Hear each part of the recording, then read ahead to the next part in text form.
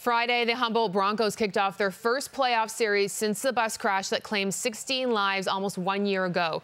Two surviving players returned this year, with the rest of the team being selected following a training camp last May. The team finished the regular season sixth out of 12 teams, and now, just 11 months after the tragedy that was felt right across the nation, the team is back in the playoffs. Broncos taking on the Estevan Bruins. Down one in the second, Michael Clark forces the turnover and he walks in, but he rings it off the post. To the final minute of the frame, the Broncos break through as Josh Patrician fires it home. We got ourselves a tie game after two.